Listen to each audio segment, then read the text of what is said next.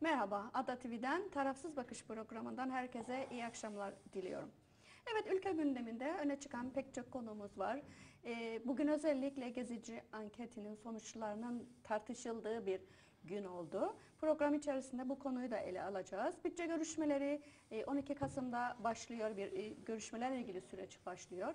Biraz uzun bir süreç olacak. Bu konuyla da ilgili program içerisinde konuşacağız. E, biliyorsunuz geçtiğimiz yıl Girne Lefkoşa Cipros mevkiinde bir kaza olmuştu. Dört kişinin ölümüyle sonuçlanan. E, bu konuyla ilgili özel bir komite kuruldu. Bu komitede e, nasıl çalışmalar nasıl gidiyor? Neden hala daha bir rapor, bir netice e, çıkmıyor? Bu konuyu konuğumuza soracağız. Ve ülke gündemine biliyorsunuz diğer ayrı konular var. Enflasyon oranının eksi çıkması, hayat pahalılığı, e, uyuş, polis örgütünün uyuşturucu konusunda yapmış olduğu operasyonlar ve e, kısa başlıklar halinde de kalan süremizde kısa başlıklar halinde hazırladığımız konu başlıklarını da e, konuğumuzdan kısa cevaplar halinde alarak programımızı e, tamamlamayı ve böyle bir çerçevede program yapmayı planladık sevgili seyirciler. Konuğumuz Ulusal Birlik Partisi e, Milletvekili Doktor Özdemir Berova ve sizi e, programımızda baş başa bırakıyoruz.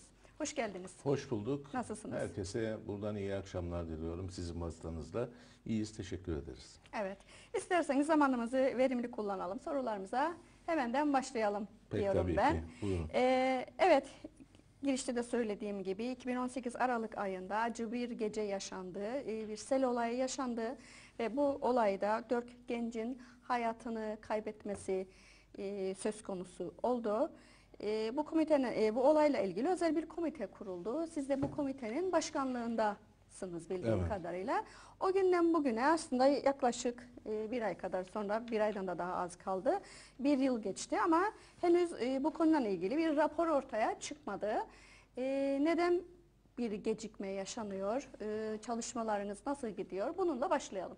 Evet, e, bu komite e, geçtiğimiz işte e, Ocak ayıydı yanılmıyorsam e, bizim Ulusal Birlik Partisi e, tarafından verdiğimiz bir araştırma önergesinin e, genel kurulunda kabulüyle e, birlikte çalışmalarına başladı. E, çalışmalarına başladığı süreç içerisinde, e, ortam siyasi ortam içerisinde e, Sayın Fikri Toros e, başkanlığı aldı ve e, yani çalışmaları bayağı mesafe e, kat etti. E, arada bir biliyorsunuz bir hükümet e, değişimi pro- e, oldu. Buna bağlı olarak da oradan bir e, gecikme süreci yaşandı. E, akabinde e, yeni hükümetle birlikte e, komite tekrardan yenilendi ve bu e, bağlamda da e, komitenin başkanlığını ben aldım.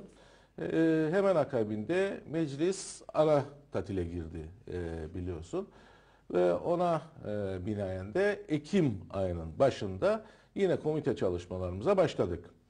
Ve bu bağlamda da e, bugün itibariyle e, komitemiz e, dinlenecek olan e, tüm sivil toplum örgütlerini, bakanı, bakanlığı, polisi, başsavcılığı herkesi dinlemiş e, durumdadır.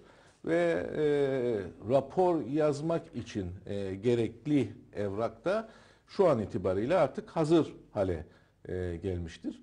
İş düzüğümüze e, göre e, bu e, raporun yazılması için e, Komite Başkan Vekili Sayın Fikri e, Toros'la e, birlikte bir çatı oluşturma sürecine girdik ve bu bağlamda da e, akabinde e, diğer komite üyesi arkadaşların da e, katkısını alarak e, raporumuzu en erken zamanda tamamlamayı planlıyoruz. Zaten komitenin de süresi Aralık 20 tarihi itibariyle e, son, Son. bulacaktır. 20 Aralık'tan önce e, komite raporunu ortaya koyacaktır. Çok hassas bir konudur. Çok e, nasıl ifade edeyim vektörleri olan birçok e, koşulun birbiri içerisine girmiş olduğu bir konudur.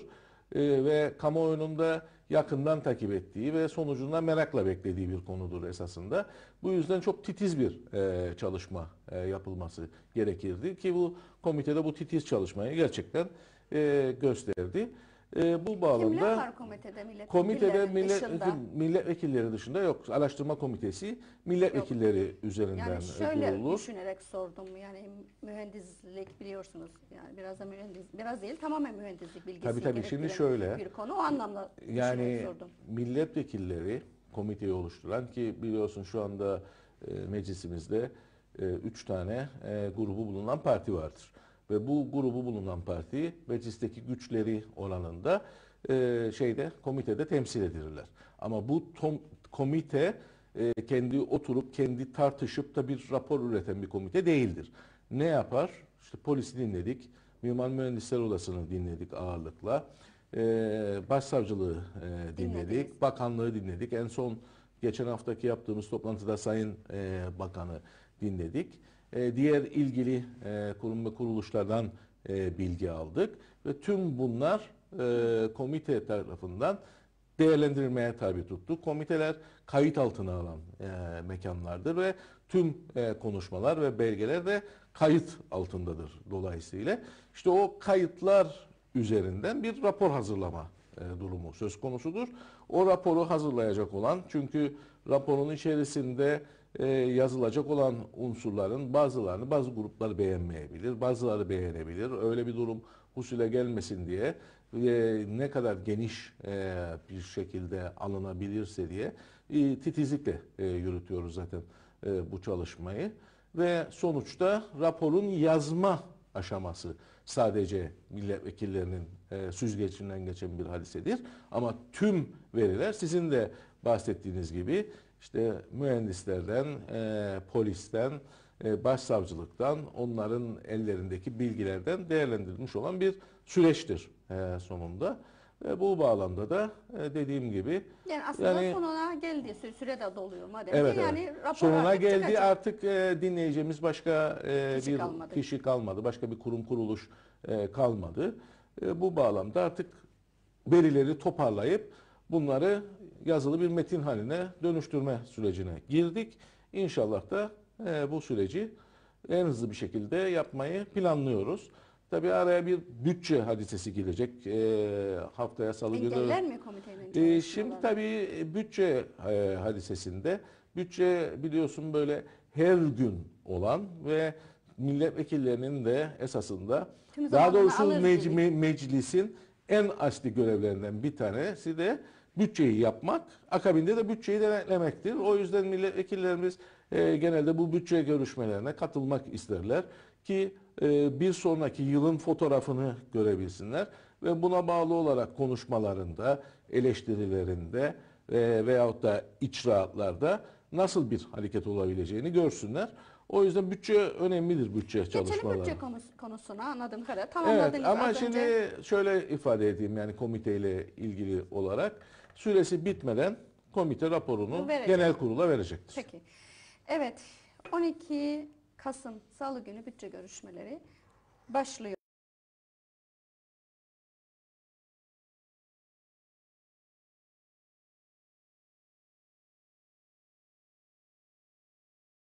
Maliye Bütçe ve Plan Komitesi'nin üyesisiniz. Evet. Yani bu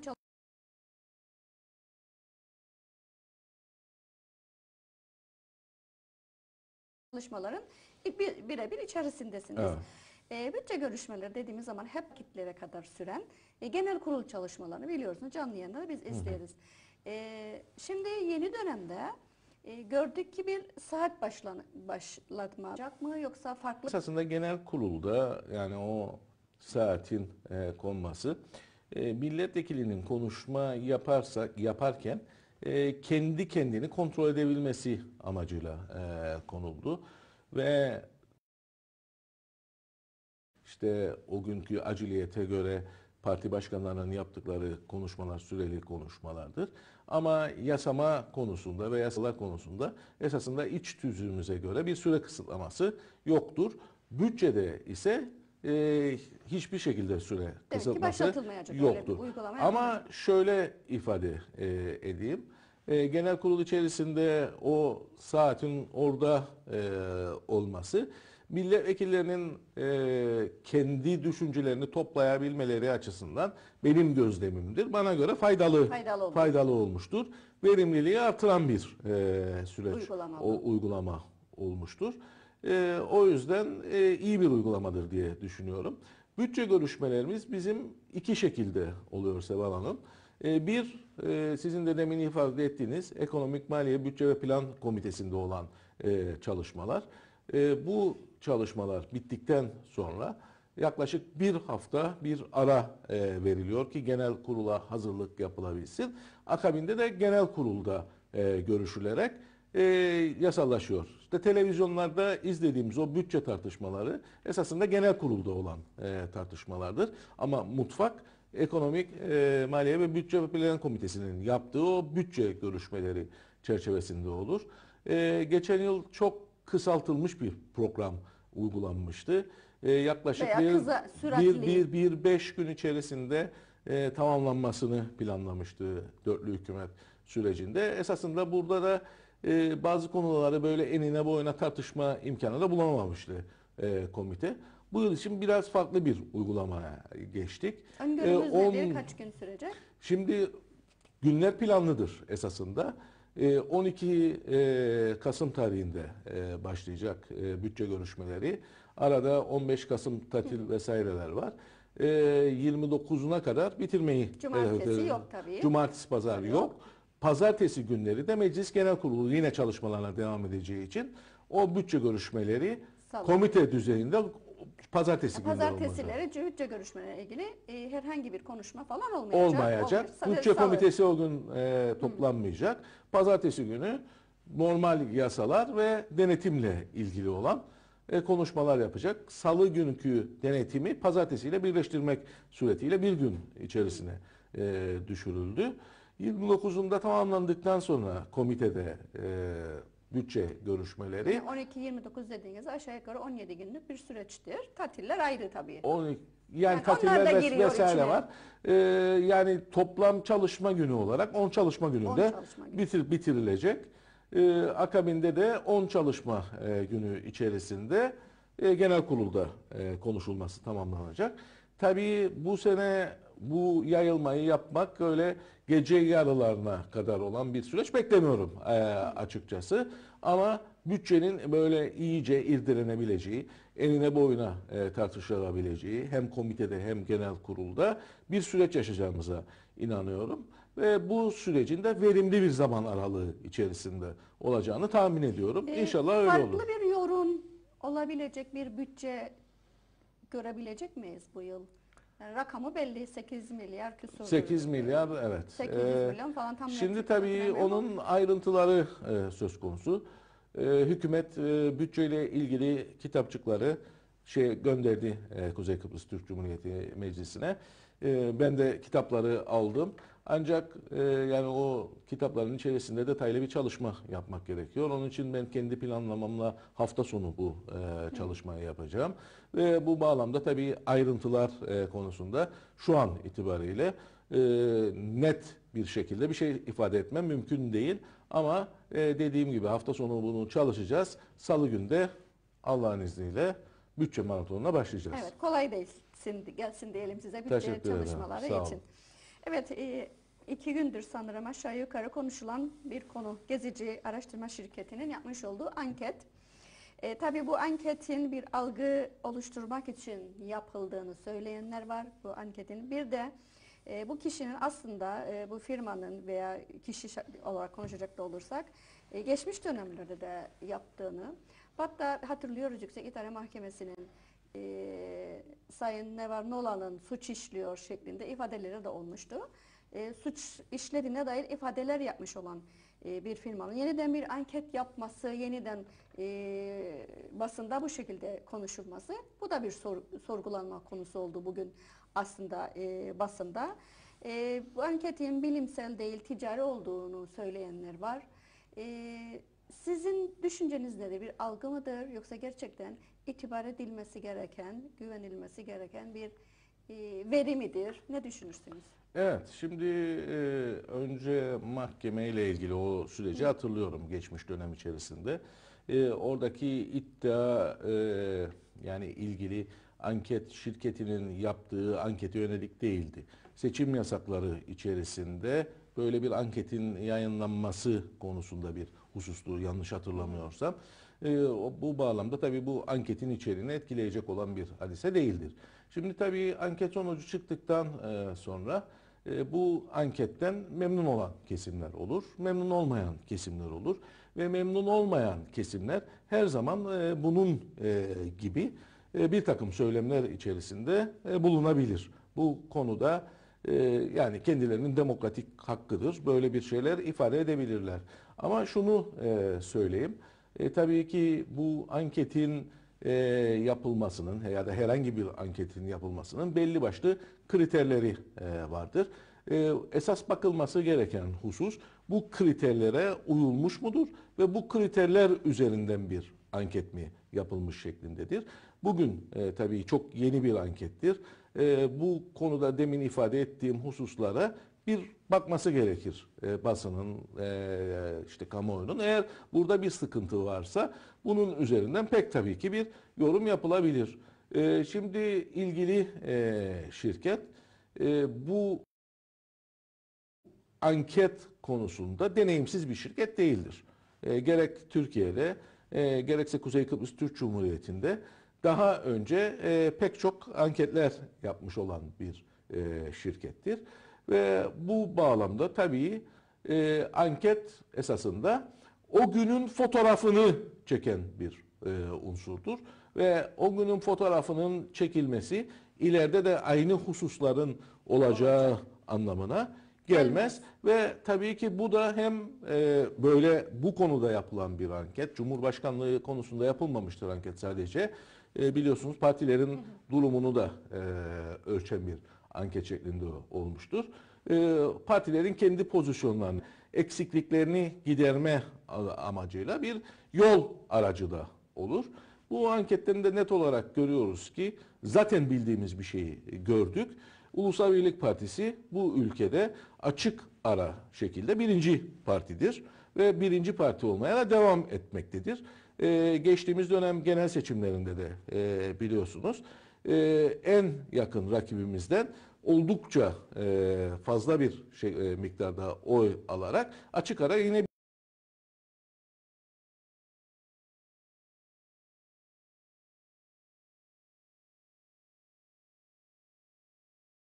birinci olan bir e, partiydik. E, bu bağlamda tabii Cumhurbaşkanlığı seçimi içerisinde de e, anket sonucunu e, gördük. Tabii Ulusal Birlik Partisi noktasında e, tetikleyici bir unsur olur mu bu anket? Şimdi e, şöyle ifade edeyim. Tabii bizim parti olarak e, şeylerde e, geçtiğimiz haftalar içerisinde e, konunun nabzını tutan bir takım e, araştırmalar yaptı. E, örgütlerle e, işte özellikle Girne böyle e, görüştüğümüz zaman esasında nabzı tutar hale e, geldik. Ve bu bağlamda şunu açıkça ifade edeyim. Ulusal Birlik Partisi'nin parti e, tüzüğüne göre Cumhurbaşkanlığına adaylık diye bir şey söz konusu değil.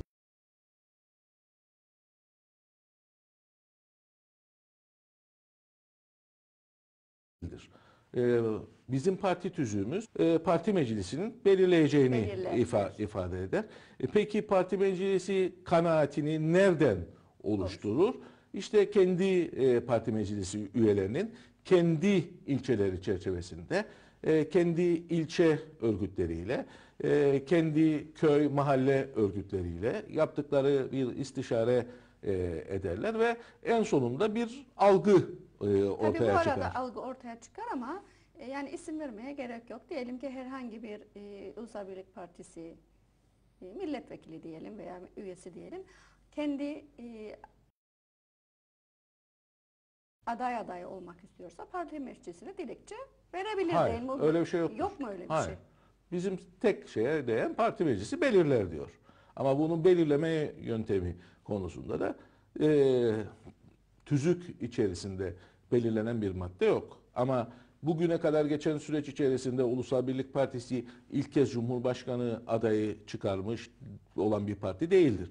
Daha önce aday çıkarmış Cumhurbaşkanlığı makamına adayını göndermiş olan bir e, partidir ve baktığımız zaman parti gelenekleri içerisinde bir başvuruyla adaylık şimdiye kadar da hiç olmuş bir şey değildir. Yani hem tüzükte böyle bir şey yazmaz hem de e, şimdiye kadar gelen e, bu gelenek içerisinde e, diyeyim böyle bir teamül uygulanmamıştır. Böyle E, bir hak yok mu?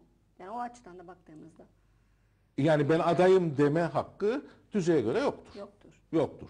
Yani milletvekiline aday olunabilir, partinin Yani siz çeşitli... anladınız aslında ne Anladım. demek İşte şimdi tabii demek istediğim temel hadise Tamamen de parti şudur. meclisi karar Parti meclisi kararıdır ve esasında bu görev parti meclisi tarafından tevdi edildiği zaman e, görevi tevdi edilen kişinin Kişinin de bu görevden hakkı, yani reddetme hakkı yoktur demek. veya imtina Ama- etme. Yani bunu Evet. bunu yapmaması gerekir teamüllere e, göre. Öyle bir durum yoktur. Tabii parti meclisi e, adayı belirleyecektir. Bizim nabızdan e, yokladığımız, e, şimdi son anket sonuçlarında da görüyoruz ki nabızla e, anket sonuçlarımızla e, birebir örtüşüyor, uyuşuyor. E, önümüzdeki dönem içerisinde tabii bu parti meclisinin vereceği bir e, karardır. Benim şahsi öngörümdür şu anda ifade edeceğim. E, Sayın Genel Başkanımız Ersin Tatar çok büyük bir ihtimalle e, Ulusal Birlik Partisi'nin e, bu önümüzdeki dönem Cumhurbaşkanı adayı olacaktır. Peki belki şimdi soracağım soru e, biraz erken bir soru olabilir çünkü Cumhurbaşkanlığı evet bir nevi başlamış gibi görünüyor ama resmen yarış süreci o birkaç aylık süreç daha başlamadı. Evet biliyoruz e, Ersin Tatar'ın zaten açıklamaları belli. Ulusal Birlik Partisi'nin çizgisi belli. E, Cumhuriyetçi Türk Partisi'nin Sayın Akıcı'nın çizgileri belli. E, Ersin Tatar'ın aday olması durumunda yapmış olduğu bugüne kadar yapmış olduğu açıklamaları da düşünecek olursak e, mevcut federal çözüm zemininde süren Birleşmiş Milletler parametreleri e, zemininde olan süreç biraz farklı bir yola girer mi? Yapmış E şimdi- yapacağı şimdi e, şöyle propaganda çalışmalarında. Net olarak şunu ifade edebilirim ki e, biliyorsunuz ilk toplumsal e, toplumlar arası görüşmeler 1968 yılında e, başladı ve bu 1968 yılında başlayan süreçte en son Crans Montana e, süreciyle esasında o zaman e, sayın şu andaki şimdiki Cumhurbaşkanımız e, Akıncı'nın da kendi ifadesidir. Artık yani bu bağlamda bizim için e, bizim nesil için kendi bir e, son hadis olduğu e, görüldü.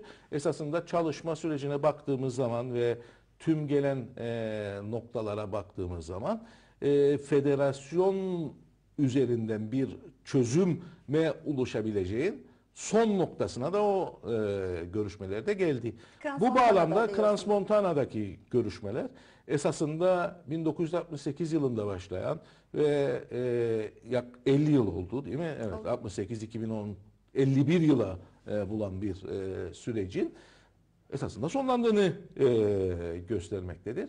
Ama tabii diplomaside işler böyle ortaya bırakılmakta ve e, bunun üzerinde kesin bir e, karar vermeme konusunda diplomasinin de gelen bir geleneği söz konusudur. Ama Ulusal Birlik Partisi Kıbrıs konusunda esasında e, çok ciddi çalışmalar yapmış olan bir partidir. E, Montana sürecinden akabinde e, geçtiğimiz yaz başlangıcında uzunca bir çalıştay yaptık e, parti olarak ve konuyu esasında çok enine boyuna da değerlendirdik. Onun akabinde de periyodik aralıklarla e, işte bir ayda bir, bir buçuk ayda bir bu konuyla ilgilenen e, Ulusal Birlik Partisi'nin tabii en önemli avantajlarından bir tanesi de bu ülkenin açık ara birinci partisi olmasından dolayı e, bürokrasi açısından da çok güçlü bir e, yapıya sahip olan bir e, partidir. Dış politika konusunda da e, bu böyledir. E, büyüklerimizle e, bizden yaşça büyük olan ve bu konuya yıllarını vermiş olan insanlarla, abilerimizle esasında biz zaman zaman bu konuyu da istişare etme e, hadisesi içerisinde e, buluyoruz. e, şu anda resmen e, açıklanmamıştır. Ama bize göre e, federasyon süreci ölmüş olan bir süreçtir. Ne zaman ölmüştür? Crans Montana e, safhasından sonra artık ölmüş olan bir modeldir. Ölmüş Ve bu, bu, bir bundan sonra artık farklı bakış açılarının farklı yollarında gündeme gelmesi e, icap eder. Peki Çünkü üçlü görüşme oluyor biliyorsunuz. evet üçlü Yani- üçlü görüşme Yani neden aynı şekilde bir ümitsizlik veya artık bundan sonra bir anlaşma olmaz düşüncesi uzun bir süre toplumda hakim oldu. Az önce söylediğiniz sözlere Evet. dayanarak. Gerçekten toplumda bir ümitsizlik bundan sonra bir şey olmaz. Kransmontadan sonra her şey bitmiştir düşüncesi. Uzun bir süre Hayır hayır hakim her şey oldu. kesinlikle bitmez. Yani Ama bir konu kapanır, başka bir konu Evet. açılır. Ee, o günden bugüne ne değişti ki? Bir 25 Kasım'da üçlü görüşme oluyor. Bu da İşte biz de bunu ciddi bir gelişmedir. Biz biz Tabii biz biz, biz bunu görüşmenin- biz de bunu sorguluyoruz. Tabii e, yaptığımız zaman ve baktığımız zaman e, bu üçlü görüşme resmi bir görüşme olmayacak biliyorsunuz. Gayri resmi bir e, görüşmedir ve bu bağlamda e, Birleşmiş Milletler e, Genel Sekreteri Sayın Guterres şunu ifade etmiştir e, Transmontana sürecinden sonra. E, taraflar ne zaman bir görüşme yapma ihtiyacı hissederlerse biz Birleşmiş Milletler olarak ve Genel Sekreterlik olarak onların yanında olacağız. Bu görüşme e, sürecini de e, destekleyeceğiz e, şeklinde bir açıklaması söz konusudur. Ama Transmontana'dan bugüne kadar geçen süreç içerisinde baktığımız olarak baktığımız zaman net olarak şunu görüyoruz. Biliyorsunuz ki e, Sayın Lut da bir mekik diplomasisi yapılabilmesi adına Birleşmiş Milletler tarafından adaya atandı ve bayağı bir sürede bu konu üzerinde çalıştı. Ama sonuçta da bir noktada, e, ortak bir noktada görüşülemedi, buluşulamadı.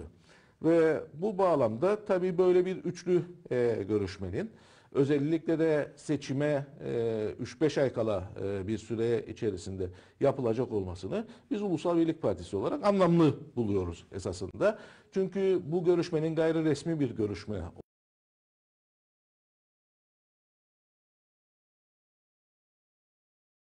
olduğunu, tarafların arzu ve isteğine bağlı olacak olan bir görüşme süreci sonunda e, bu tarih belirlendiğini. E, buna bağlı olarak e, esasında yani bu görüşmenin ayarlanış şeklinin e, acaba bir sonraki seçimlerde e, bir seçim ıstartımı e, olacak diye bir düşünce içerisine de sahibiz. Ama tabii böyle bir şeyi net olarak ifadelendirmek için elde Yani de kesin kesin kesin kesin bana. kesin bir veriye de sahip olmak e, gerekir. Ama şunu net olarak e, biliyoruz ki bu görüşmeden hiçbir şey çıkmayacaktır. Çıkmayacak. Nereden biliyoruz? Çünkü Sayın e, Güney Kıbrıs Rum Yönetimi Başkanı e, Anastasiadis e, Selanik'te bir toplantıya katıldı geçtiğimiz günlerde biliyorsunuz ve görüşme masası üzerine çok enteresan şartlar e, getirdi. İşte her zamanki ifadesi olan sıfır asker garantilerin e, kaldırılması e, gibi e, konuların üzerine şimdi de e, Doğu Akdeniz'de gerçekten çok sıcak bir ortam yaşanıyor. E, bu bağlamda e, Kuzey Kıbrıs Türk Cumhuriyeti ve Türkiye'nin kendi arasında yaptığı anlaşmalar e, doğrultusunda e, verilen haklarla e, yapılan sondaj aramalarının da sonlandırılması e, talebini de şart olarak e, masaya getirdi. E, bu akılla gider gidilirse zaten bir arpa boyu yolda kat edileceğini düşünmüyoruz. Ama kendi şahsi değerlendirmelerinde şunu da e, ifade edeyim. E, geçtiğimiz e, tüm bunca zaman içerisinde e, Kıbrıs Rum e, yönetimi Kıbrıs Cumhuriyeti adı altında ve dünya konjektürü içerisinde bugünkü pozisyonu pozisyonunun üzerine her zaman olduğu gibi zamana oynama yönünde bir strateji e, ortaya e, koymuştur. E, tabii bundan sonraki süreç içerisinde hem e, bizim hem de e, tabii bu e, dünyaya anlatma e, konusu gerçekten çok önemli bir e, Tabii Türk husustur. tarafının en önem verdiği konulardan bir tanesi de biliyorsunuz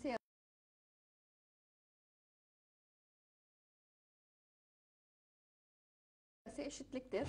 Siyasi eşitlik konusunu esasında bugün konuşmamamız gereken bir konudur. Çünkü Sayın Anastasiadis'in bunu daha önceden kabul ettiği bir konudur. Ama böyle bir e, şey. De önce bir şeyinizi kaybettirirsiniz. Şeyinizi şeyi vermekle e, bir sanırsınız. önemli bir şey yapmış mısınız e, hadisesi oluşturursunuz. Siyasi eşitlik e, konusu da o konudur. Yani o konu zaten tartışılır olması gereken bir konu değildir. Çünkü öncesinde de e, bu konu üzerinde bayağı uzun zaman bir tartışma yapılmış ve siyasi eşitlik e, konusunda da e, bir uzlaşıya varılmış.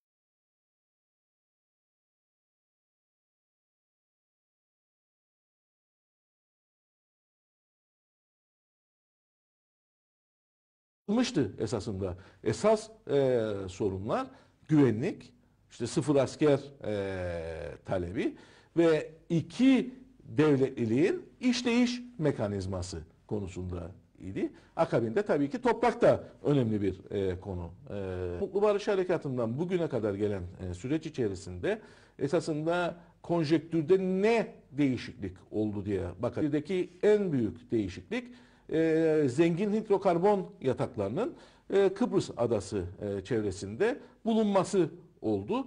E, buna bağlı olarak önümüzdeki e, süreçte ise e, net olarak ifade edilmese, yazılmasa dahi e, hidrokarbon konusu da parametrelerden bir tanesi olacağı inancındayım ben açıkçası. Peki e, kısa bir reklam arasına gidelim ardından devam ederiz.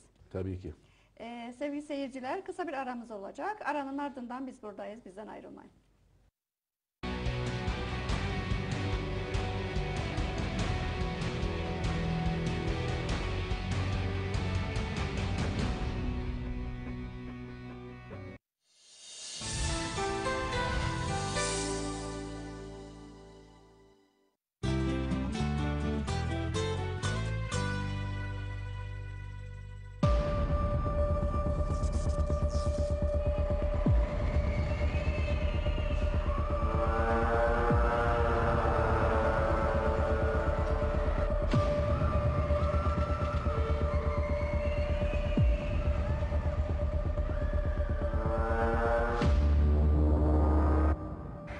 Aslında savaş için değil, barış için ve yalnız Türklere değil, Rumlara da barış getirmek için adaya gidiyoruz. Bu anda kahraman Türk Silahlı Kuvvetleri Kıbrıs'ın her yanında havadan ve denizden çıkarma yapmaktadır.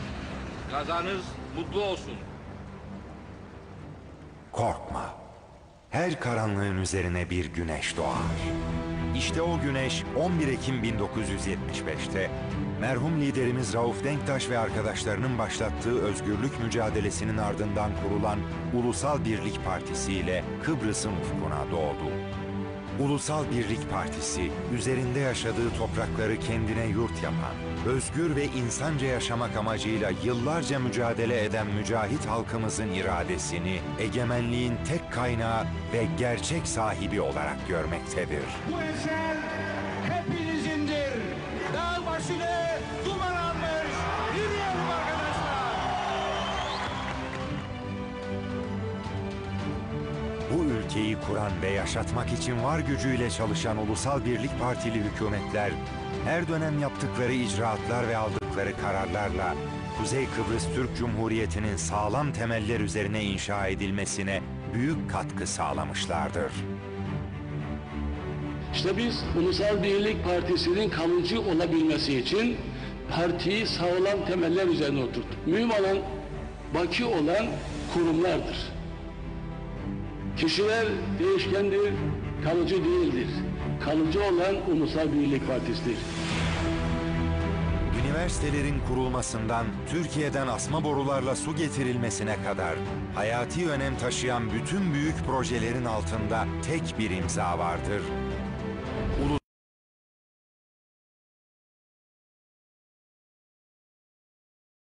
Ulusal Birlik Partisi. Ulusal Birlik Partisi 31 Ekim 2018'de genel başkanlık görevini önce milletvekili sonrasında maliye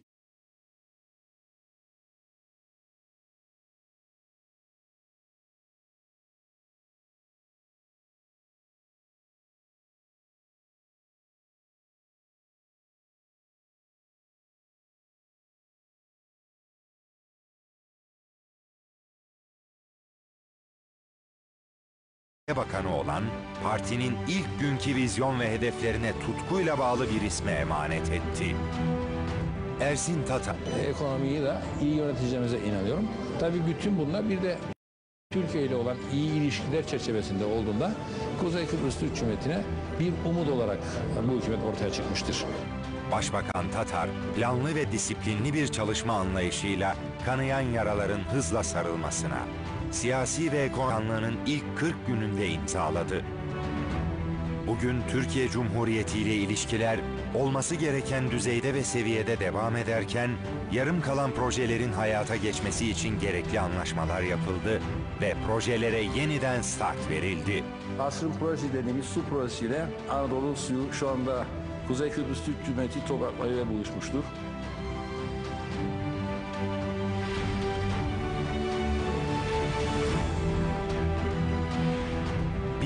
44 yıldır olduğu gibi kazandığımız seçimlerden öte kazandığımız gönüllerle geleceğe yürüyen bir partiyiz.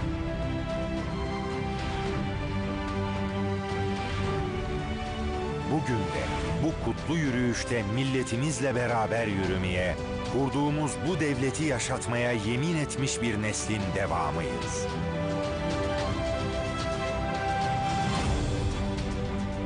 Çünkü biz herhangi bir parti değiliz. Biz Kuzey Kıbrıs Türk Cumhuriyeti'ni kuran ve onu yaşatacak olan partiyiz. Biz Ulusal Birlik Partisiyiz. Nice 44 yaşlara. Biz size pırıl pırıl bir bağımsız devlet bırakıyoruz. Canınız gibi koruyacaksınız, kıymetlendireceksiniz. Tatil yapmayan kalmasın. Seyahatiniz veya tatiliniz için yurt içi ve yurt dışında gerekli olan tüm ihtiyaçlarınızda Kapital Bank Prime Kart'la biriktirdiğiniz Prime puanlarınızı 20 ile çarpıyoruz. Hemen MTS Tur, Polatkan, Sayar veya Starwood Turizm acentelerinden birine giderek tatil programınızı 20 kat daha avantajlı yapmak için acele edin. Üstelik kampanyadan yararlanmak için bir ömür puan biriktirmenize de gerek yok. Kampanya başlangıç tarihinden itibaren sadece 15 puan biriktirmeniz yeterli. Prime Kart sahibi değilseniz hemen bir Kapital Bank şubesine uğrayabilir veya kampanya ile ilgili detayları kapitalbank.com.tr adresinden takip edebilirsiniz. Prime Kart,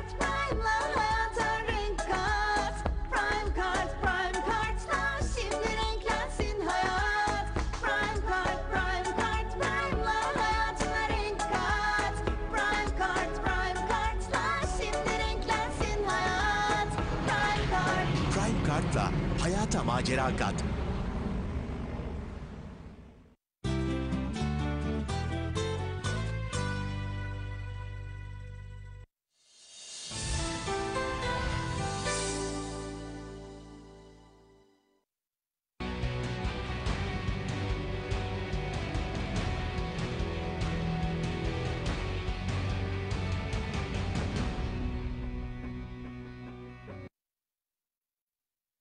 Reklamların ardından yeniden birlikteyiz sevgili seyirciler. Bugünkü konuğumuz Ulusal Birlik Partisi Girne Milletvekili Sayın Doktor Özdemir Berova ve kaldığımız yerden devam ediyoruz. Ee, dilerseniz ikinci yarımızı e, konu başlıklarını ben size söyleyeyim. Konu başlıklarına göre e, kısa kısa çünkü yani 5-6'dan fazla bir konu başlığım var. Ee, kısa kısa cevaplarınıza gidelim. Böyle genel olarak ülke fotoğrafını da çekmiş oluruz Pek düşüncelerinizle. tabii, pek tabii. Evet, anayasa değişikliği için bir deneme süreci yaşadık. Başarısızlıkla sonuçlandı. Zaman zaman anayasa, anayasa değişikliğinin aslında bu ülkede elzem olduğunu, özellikle bazı konular noktasında e, elzem olduğu hep söylenir. Ama bir e, hamle, bir eylem veya bir hareketlilik henüz daha göremedik. Çünkü bu meclisin, e, genel kurulun, meclisin görevidir. E, Evet. bu konuyla ilgili bir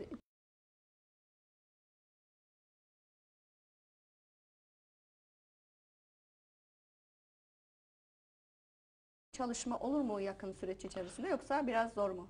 Şimdi şunu ifade edeyim. Tabii e, anayasa e, değişikliğine esasında içerik e, bakımından baktığımız zaman esasında toplumun ihtiyaçlarına genel anlamda cevap verebilecek bir teşil, e, değişiklik e, tasarısıydı. Ve o zaman da e, benim de görev yaptığım meclis oy birliğiyle geçerse beklenti ne olur? Halkın da e, bu konuda onay vermesi e, şeklinde olur. Ama tabii o siyasal açıdan da bir takım e, hadiseler e, söz konusu oldu ve e, bu bağlamda da bu e, yasa değişiklik. Aslında yani- partilerin Evet, oy evet, evet. birliğiyle geçirdiği Bu geç geçirdi. bu Tabii- partiler sahada bunun arkasında durmadı. Bu Yani öyle de ifade ediliyor Ee, ve bana göre oradaki en büyük hatalardan bir tanesi e, bir seçim ile anayasa değişikliğini aynı anda yapma olgusu oldu biliyorsun. Ee, bu çok büyük bir e, stratejik hataydı. Bugünkü e, geriye bakış olarak ve perspektif bakışımdan bunu net olarak görebiliyorum. Öylesi, öylelikle anayasa değişiklikleri esasında üzerinde e, çalışılması gereken ve e, halkın net olarak anlayabileceği e, bir şekilde karmaşıklıktan uzak e, bir şekilde hazırlanması e, gereken olan e, bir e, unsur. Fakat o günkü o deneyim siyaset üzerinde ciddi bir travma yarattığı da bir gerçektir. Ve bu bağlamda da e, bunun akabinde yeni bir deneme yapma süreci içinde esasında bir zaman e, ihtiyacı da söz konusuydu. Ama önümüzdeki dönem içerisinde bu tekrardan bir gündeme gelecektir diye düşünüyorum. Çünkü özellikle e, yargı alanında pek çok e, sıkıntılar var. E, anayasamız içerisinde esasında yargıç Milletvekillerinin sayısının dokunulmazlığı da hep konuşulur. Milletvekillerinin dokunulmazlığı hep konuşulur. Ee, yani bu bizim açımızdan e, çok büyük bir problem değildir esasında kaldırılması. Çünkü bizim e, istediğimiz kürsü e, dokunulmazlığıdır. Bir de e, fikirleri beyan etme durumuna gelince iktidar tarafından direkt hedef yani bugün biz iktidarız yarın başka biri iktidar olur. Direkt hedef e, gösterilip de e, demokratik sesin susturulması e, sıkıntısıdır. Esasında dokunulmazlıklarda nerede durulması e, gerektiği konusunda. Evet dokunulmazlıkların kapsamı kesinlikle daraltılmalıdır. Ama bu daraltma yapılırken de burada o dengeyi çok iyi dikkat etme söz konusu olmalıdır. Çünkü e, bir gün mutlak bir iktidar ortaya e, çıkabilir ve bu mutlak iktidarda yaptığı icraatlarla muhalefetin sesini tam olarak e, o günkü muhalefetin sesini tam olarak susturma aşamasına gelir. E, bu bağlamda tabii bu anayasa e, değişiklikleri konusu da e, yavaş yavaş konuşulacaktır diye e, düşünüyorum. Fakat kendi şahsi fikrim e, yani bir seçime bağlamadan e, belli başlı bir düzenlemeleri e, yaparak bu düzenlemeleri halkın önünde de iyice anlatarak ha- halk oylamasına gitmek esasında en doğru olandır. Şimdi baktığımız zaman demokrasi açısından esasında e, Kuzey Kıbrıs Türk Cumhuriyeti'nin e, anayasal e, düzeni e, demokrasiyi koruyabilme adına çok önemli suboklara e, sahiptir. Bunlardan en önemlisi de işte demin örneğini gördük. 50 milletvekilinin onay verdiği bir anayasa değişikliği bile halkın onayına ihtiyaç e, duymaktadır. Eğer halkın onayına gitmesi için de üçte iki oranında da milletvekilinin bu e, değişikliklere evet demesi e, gerekir. Bir de yargı kurumumuz gerçekten yapısı e, gereğiyle e, bazen biz de yargının verdiği bazı kararlardan e, çok hoşnut olmasak bile mekanizma e, hususu ile birlikte e, kendi bağımsızlığını kanıtlamış olan bir e, yapıdır. Ve bu iki yapı esasında demokrasimizin ana e, güvencesidir de önümüzdeki süreç içerisinde. Dediğim gibi yani bu anayasa ile ilgili değişiklikler kendi içerisinde ayrı düşünülüp ayrı planlanması ve bunun akabinde de ayrı halk oyuna sunulması gereken unsurlar olduğunu ben şahsen düşünüyorum. E, parti içerisinde bu parti görüşü oluşturma adına daha şu aşamada böyle bir toplantı yapmadık. Yapmadık ama e, olması gereken bir elzem konular arasında olması gerektiğine inanıyor musunuz? E, Yani şöyle söyleyeyim, e, bir e, şekilde başlayıp bazı hadiselerin düzeltilmesi e, gerekir ama şu anda ülke için e, anayasa değişikliği olması hayati bir önemde midir? Hayati önemde olan daha öncül konular Peki. Vardır. Ee, Cumhurbaşkanlığı seçiminin ardından erken seçim olma ihtimali de e, konuşulan konular arasındadır. Hatta Cumhurbaşkanlığı e, adaylığı konusunda hükümetin bozulabileceği görüşleri de ortaya atılmaktadır. Bu bağlamda e, erken seçimin olabileceği söz konusu olursa hazır olma bağlamında bir yasa vardır ki geçmiş seçim döneminde eee, bir takım sıkıntılar ortaya çıkmıştır. Seçim sistemiyle ilgili seçim ve halk oylaması yasası biliyorsunuz bu karma sistem olmuştu ve çok sayıda eee, oyun aslında eee, geçersiz sayılmasına sebep olan bir uygulama yaşadık. Eee, çok e, insanı hatta yani hemen hemen yüzde yüz her kesimin de bir düşünceci var.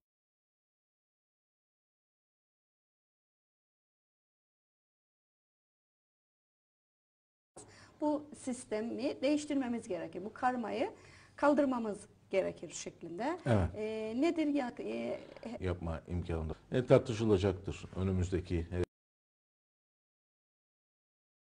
e, süreç içerisinde. Ama ben yani kendi şahsi öngörümdür. E, şimdi e, muhtemelen gelecek aydan itibaren artık Cumhurbaşkanlığı yarış kampanyası e, başlayacaktır. E, odaklanma buna doğru e, olacaktır. E, bu konuların Nisan ayından sonra tam gündeme e, geleceğini düşünüyorum kişisel e, olarak. Ama biz parti içerisinde e, bu konuları konuşuyoruz. Bunu ifade etmek isterim. E, çünkü Sayın Mahkeme Başkanı'nın ifadesi vardır. Yani burada e, bayağı sıkıntı e, yaşandığı konusunda.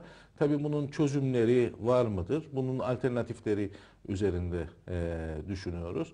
Sesli düşünce içerisinde e, yani işte karma kaldırılsın mı?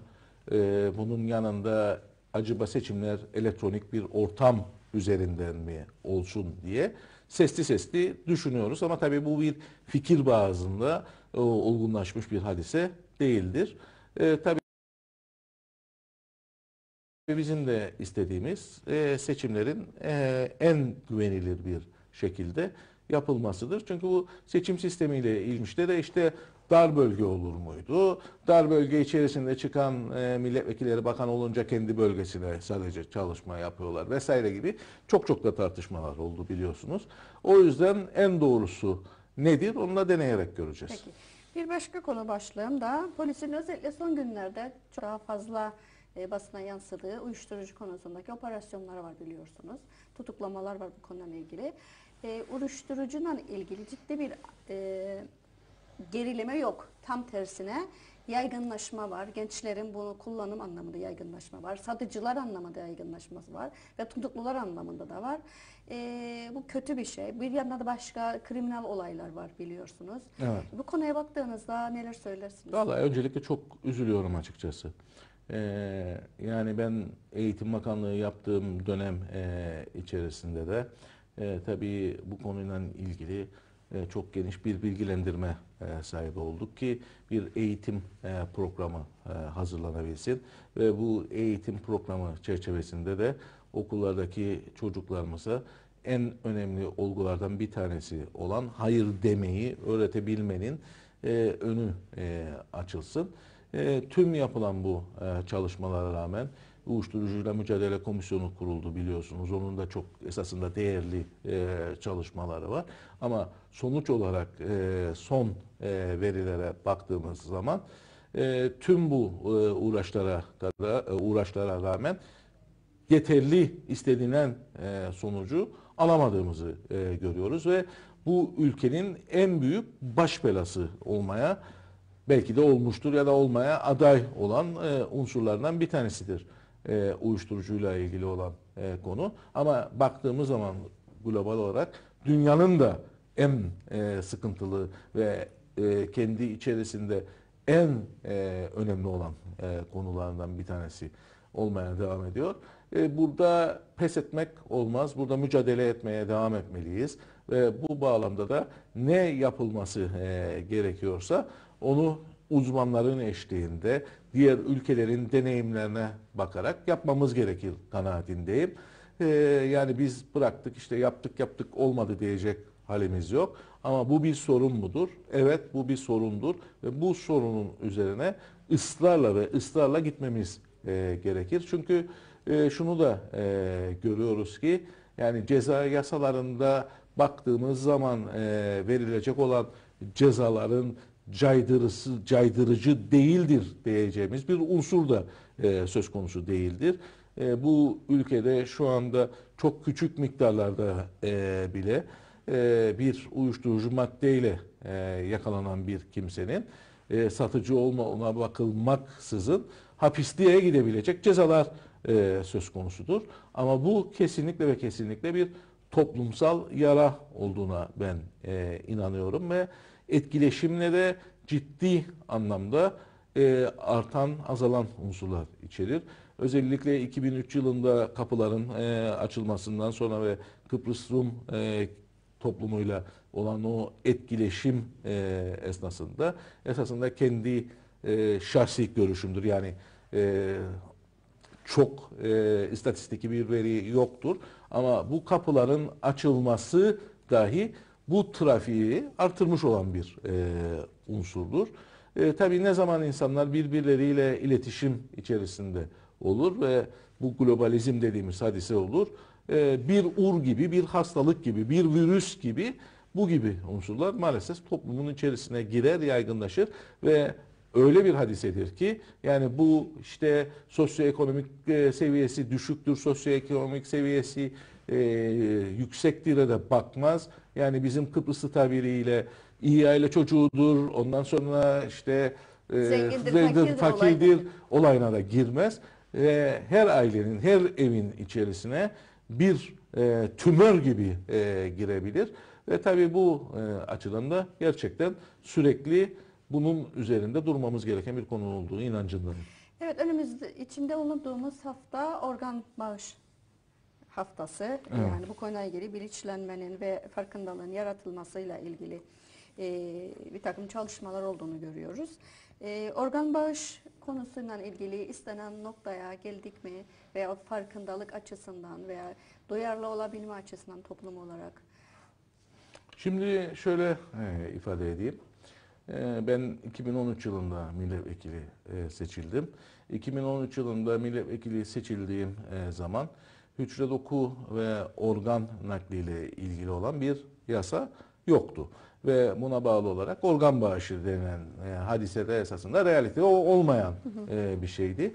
Ve milletvekili seçilmezden önceki e, süreç içerisinde de e, biliyorsunuz ben Tabipler Birliği'nde de e, görev e, yaptım. Ve bu bağlamda Sağlık Bakanlığı'nın hücre doku ve organ e, nakliyle ilgili yasa tasarısının hazırlanmasında teknik aşamasında da katıldım.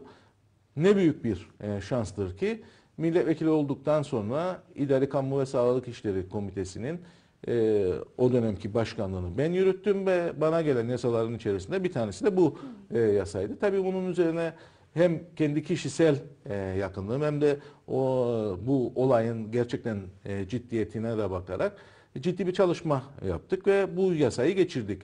O günden bugüne kadar geldiğimiz e, süreç içerisinde uygulamalara baktığımız zaman ülkemizde artık nakillerin yapılıyor olması e, gerçekten e, bizi beni hem hekim olarak hem bir milletvekili olarak çok sevindiriyor e, açıkçası. Ve bu çorbada da bir parça tuzumuz olmasından da büyük bir huzur ve mutluluk e, da duyuyorum. E, bu bağlamda tabii ki bu farkındalıkların yapılması ve sürekli te- e, tekrar edilmesi e, gereken unsurlardır. Çünkü e, bir yasayı çıkardınız ya da bununla ilgili bir işlem yaptınız, nakle başladınız. Akabinde de bununla e, ilgili olarak herhangi bir şekilde bir farkındalık yaratma veya bunun kamuoyu önünde tartışılmasını e, unutturma e, gibi. Çünkü sonuçta toplumun en önemli özelliklerinden de bir şeyi şudur. E, bir şeyi konuşmazsak, uzun bir süre konuşmazsak o unutulur. Bu bağlamda bu farkındalık haftasını çok önemsiyorum. Ve şu anda ülkemiz nakil açısından geldiği konumda belki çok mükemmel bir seviyede değiliz. Ama 2014-15'ten başlayan süreçte ise yaklaşık 5 yıl süreçte oldukça da mesafe kastettiğimiz bir husustur. Ve bu gibi etkinliklerle inşallah önümüzdeki 10 yıl içerisinde çok daha iyi bir noktaya geliriz. Evet, e, okulların açılması itibariyle e, atamalar, tayinler e, aslında devam ediyor. Geçtiğimiz günlerde de bir okula geriye dönüp baktığımızda tarihte ilk kez desek doğru olur. E, türbanlı bir öğretmen e, ataması yapıldı. E, sıkıntı yaratıldı, gö- görev yeri değiştirildi. Bu arada bir vekilimiz bazı kurumlara İslamofobinin yerleştiği noktasındaki düşüncelerini genel kurulda kürsüden paylaştı. Gerçekten İslamofobi e, devletin kurumlarına mı yerleşti E, veya türbanlı e, öğretmenin ataması e, çok garipsendi bazı kesimler tarafından ve e, uygun da bulunmadı bazı sendikalar tarafından. Bununla ilgili açıklamalar da oldu. Siz Milli Eğitim Kültür Bakanlığı yapan bir kişi olarak da bu konuyu nasıl değerlendiriyorsunuz? Şimdi tabii Eğitim Bakanlığı'nı bırakın. Yani bir insan olarak demokrasiye ve insan haklarına da e, büyük bir inancım e, olan bir kimse olarak e, bu gibi hususları insan hakları e, çerçevesinde anayasaya ve yasalarımız e, çerçevesinde e, değerlendirmek e, durumundayız. E, şimdi ben insanın kıyafetine e, öyle çok müdahale edilmesi e, gereken bir konu olarak görmüyorum e, açıkçası. Ve bu bağlamda e, baktığımız zaman e, okullarda bu kıyafetle ilgili olan e, düzenleme bir genelgeyle e, yapılıyor ve en son e, bunun da yenilenmesi 1990'lı yılların ortasında olan bir e, hadisedir. Ve bu bağlamda baktığımız zaman da e, bu giyim ve kuşam e, konusunda keskin bir ayrım da yoktur. Ha, benim bakanlık sürecinde kendi e, yaptığım e, gözlemlerde esasında e, okullarımız içerisinde e, öğretmenlerimiz e, genel anlamda baktığımızda e, kendi e, öğretmenlik meslekleri içerisinde e, kendilerinin toplum içerisinde olan e, hadiseler çerçevesinde bir giyim kuşam tarzları vardır ki bu normaldir ama bazı aykırı e, davranan öğretmenlerimizi de gözlemledim. Yani ben baktığım zaman işte saç sakal karışmış olan e, öğretmenlerimiz de vardı e, o dönem içerisinde. Ama tabii ki her öğretmen kendi bilinci içerisinde, e, kendi e, e, çerçevesinde ve arkadaşları e, çerçevesinde bu şekilde e, giyim ve kuşam yapabiliyorlardı. Şimdi e, bir e, kişiyi eğer e, siz başörtüsü takıyor diye gerici olarak değerlendiriyorsanız bu çok yanlış bir yaklaşım olduğunu e, düşünüyorum. E, çünkü sonuçta insanların her türlü demokrasilerde her türlü inançlarını da yaşama hakları da söz konusudur. Ama burada yaşama hakları söz konusuysa başka toplumun o diğer kesimlerini tahkim altına alacakları e, anlamına da gelmez e, bu husus. E, tabii bunu bir İslamofobi olarak değerlendirir misin diye sorarsan, e, yani bu aşamada bunu bir İslamofobi olarak değerlendirme yani o kavramı e, çok sert bir e, kavram olarak e, gözlemliyorum.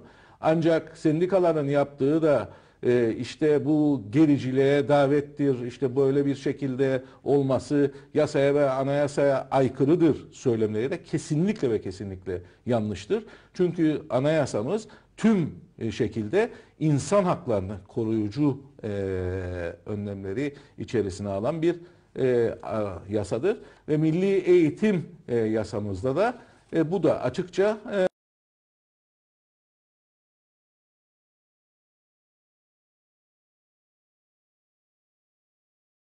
e, vurgulanır e, esasında. Bunun için e, bu gibi e, konuları üzerinden tartışma yapmayı da doğru bulmuyorum e, açıkçası. Ve insanların tasarrufunda olan bir hadisedir. Ama kurumsal e, olgular içerisinde e, bunların e, belli bir şekilde hem inançlarına halel gelmeyecek e, şekilde hem de e, o düzene uygun bir şekilde bir e, yönlendirme yapılması e, gerekir. Örneğin bir öğretmenimizi herhalde e, şort ve atletle sınıfta ders verir bir şekilde düşünemiyoruz toplum olarak. Bu yapılmaması gereken bir unsurdur.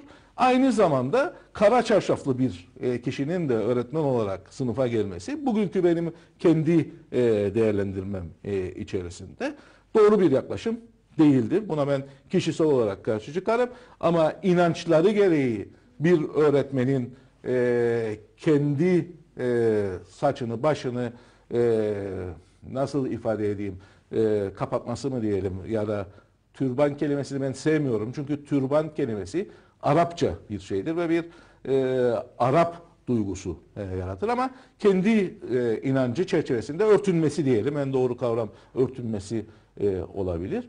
E, bunun da öğretmenlik yapmasında bir engel olacağını düşünmüyorum açıkçası. Peki süremizi tamamladık.